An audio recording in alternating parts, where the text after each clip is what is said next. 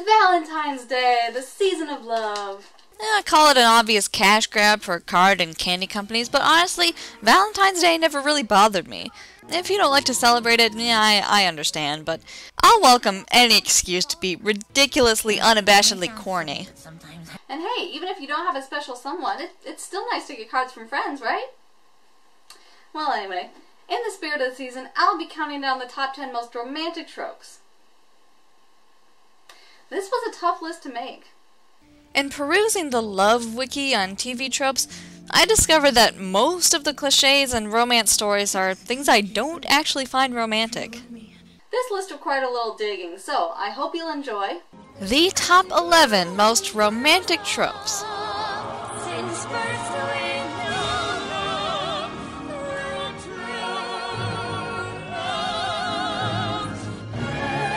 Number 11. Top 11 list because I wanted to be as universal as possible with the tropes I chose to put here, but I just had to start out with one that is very, very personal. The geeky turn on. And partly I did this because this sounds like it shouldn't exist. Are there really people out there who are more turned on by potential matchmaking obscure references to something smart or nerdy than by their physical appearance? Yeah. Even recently, I can remember watching Corbin Bleu on Dancing with the Stars, and everybody was all, oh, Corbin, he's so hot. And I was thinking, yeah, he's easy on the eyes. That's nice, whatever. And then he did a tribute to Game of Thrones.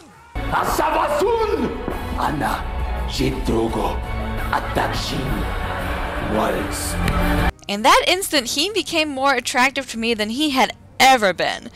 The geeky turn on is more than a myth, my friends and its effects are nigh inescapable. Your mileage may vary, of course, so let's get back to the list. Number 10. The Fettered. I didn't specify what kind of romantic tropes. Being romantic isn't just about candlelit dinners and moonlit walks on the beach, it can also mean an idealized view of reality. And that's what The Fettered is all about. It's literally what The Fettered is all about. This is a character whose actions are defined by a strong moral code. Note that the fettered isn't a zealot who needs everyone around him to adopt his beliefs in order to validate them. For the fettered, the point isn't being right at all times, it's doing right at all times. I will never ever turn my back on people who need me. Number 9. Opposites attract. Yes, it's just about the oldest cliche in the book and the quickest way to cheap dramatic tension. When done poorly, it can leave you wondering what these two people even see in each other at all. But when done well, it can be a more nuanced way to say, You complete me. She's everything I'm not. You know, she's my other half. Without her, I'm not whole. Relationships need common ground to work. That's just a given. But it would be a dull relationship indeed if you ended up with someone who was just a carbon copy of yourself. You'd think the dreamers would find the dreamers and the realists would find the realists, but more often than not, the opposite is true. You see, the dreamers need the realists to keep them from soaring too close to the sun. And the realists, well, without the dreamers, they might not ever get off the ground. Number 8. Sweet and sour grapes. Real life rarely lines up with our expectations. Things just don't go the way we hoped or planned or wanted. Isn't it nice when that happens to take solace in the idea that it's all for the best, that we are exactly where we are meant to be in life, and that the lot we've been given truly is better for us than what we actually wanted? Then, and only then, can we really have everything we ever wanted. Oh, I looked into that philosopher you quoted, Jagger, and you're right. You can't always get what you want, but as it turns out, if you try sometimes, you get what you need. Number 7. The Hope Bringer. This isn't really turning out to be an exciting list, but it is about the most romantic tropes, not necessarily the hottest or the sexiest. And what's more romantic in the sense of an idealized worldview than a person who gives you reason to hope again? And take it from someone who has been to some very, very hopeless places. The belief that better times lie ahead is a powerful one indeed, and the person who can help you believe that such times are possible is a real treasure. You give people hope. Number 6. The grand romantic gesture. For when flowers and chocolates just won't cut it. Sometimes they work, sometimes they don't, mostly depending on the receptiveness of the recipient. Best applied in a more personal way to show that it's not just about the gift, it's about a deep emotional connection with the other person. A muffin, a pastrami sandwich, and a bag of chips. And I know it's way past lunchtime, but I love you. It's more and more each day. I love you, Lily. Happy New Year.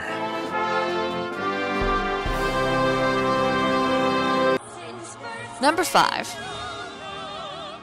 Sort of related to the star-crossed lovers, the couple that's always being told nobody thinks it will work has a lot of obstacles to overcome. At face value, they're all wrong for each other and have nothing in common, and everybody knows they're just going to crash and burn. Which, of course, makes it all the more satisfying when they end up making it and living happily ever after. And this isn't even restricted to romance. This is the trope of the little engine that could, the garage band that became rock stars, the startup company that became a multi-million dollar corporation. And yes, even the couple everyone was rooting against who earns their happy ending. We love underdogs. When they win, we win. Nobody really thinks it will work, do they? No. You just described every great success story. Number 4. Will they or won't they is a common trope invoked to create dramatic tension between the main character and the obvious love interest. Because after all, it's vastly more interesting to see a never-ending dance between two people who obviously have unresolved sexual tension than to show the pitfalls and complications of just living a life together. Right? They Do is the conclusion of a romantic arc where the couple definitely ends up together. But why just leave it as a conclusion? Why not explore what happens after Happily Ever After? There are countless stories to be told about just sharing a life together, without resorting to the storytelling equivalent of running repeatedly into a brick wall. I now pronounce you man and wife. You may kiss the bride. Oh. Number 3. I want my beloved to be happy. This is, in essence, when a character says, I want him to have what he wants, even if it means you instead of me. It can be realizing that your crush is in love with someone else, or that they simply want something that isn't you. Either way, you have to let them go.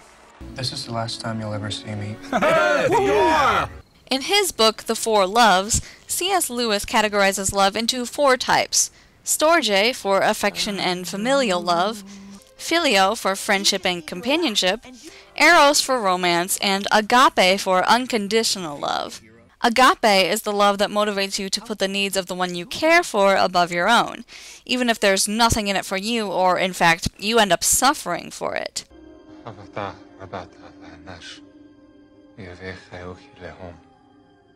It is regarded as the highest expression of love. You want it back? No. I want her to be happy. No matter what that means. I want her to find someone who will treat her with all the love she deserved from me. Now that's a prayer. Number two. Love redeems. Love is not a sissy emotion. Love is powerful. It can drive even the sanest person to do all sorts of crazy things. It's a trope as old as time, and when executed well, can lead to a convincing heel face turn for the big bad. It applies to every single one of the four loves, as the redemption can come in the form of family, friends, romance, and even agape. This trope is basically the crux of the entire Harry Potter series, where Word of God has stated that the big bad was made of so much pure, undiluted evil because he was the product of a loveless relationship. Meanwhile, the dragon's redemption arc was based entirely around the fact that he loved the hero's mother. Everyone who has even the slightest capacity to love is treated as redeemable, while those who don't are beyond hope. I know you have a lot of pain and confusion inside of you over the things you did as the Digimon Emperor. Not that person anymore, Ken. You gotta fight, Ken. You're stronger than that. Don't let fear and guilt rule your life anymore. We're here with you. And the number one most romantic trope is grow old with me. Because really, what could be more romantic than finding that one special person you want to spend the rest of your life with? This trope is essentially saying, whatever plans I had before you came along, throw those out the window. You are now the most important one in my life. Whatever adventures I have from here on out, I want to have them with you. Your happiness is even more important than mine. I will be able to face any hardship that comes my way as long as you are by my side. And when you find that person you can grow old together with, truly you will have the happiest of all endings.